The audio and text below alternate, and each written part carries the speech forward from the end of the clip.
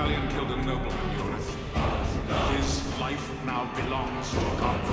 Father, if you turn my love in, I shall swear I killed Lord Asgore in attacked him. We shall both